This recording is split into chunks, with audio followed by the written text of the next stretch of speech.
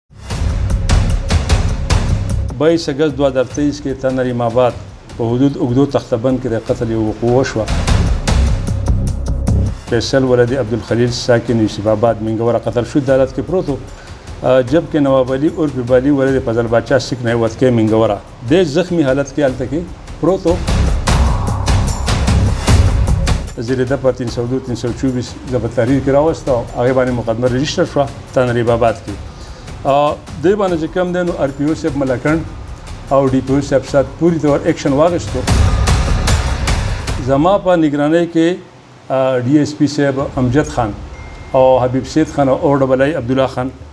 پوری تر سپیشل ټیم مقرر شو او په تکنیکی بنیاد باندې دی په دې کې کار شروع کو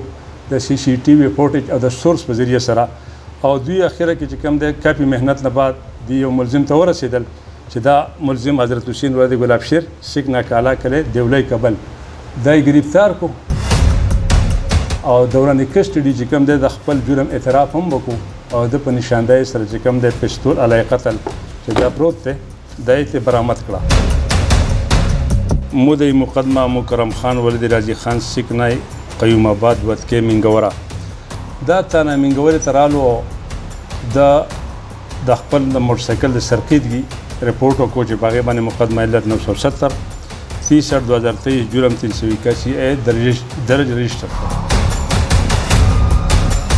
شهزاد ولید صدیق سکنای اس ډی او محله شادره وتکه هغه چې دی گرفتار کو او هغه انټروګیټ کو نو د هغه د دې ملزم په نشاندهي باندې داغه نو و موټر سایکلې برآمد شوې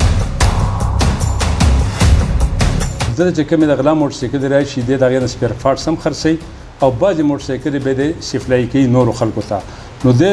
ګینګ یو سرغنه ده او د سره باقاعده یو کافي ټیم دی وسره دلته کې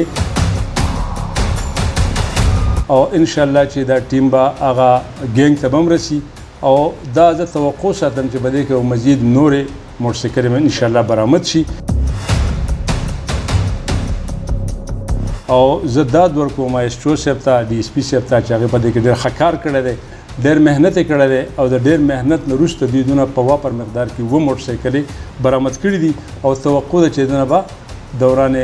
انټروګیشن انشاءالله حراست کې دنه به نورې موټرسایکلې انشاءالله برآمد شي.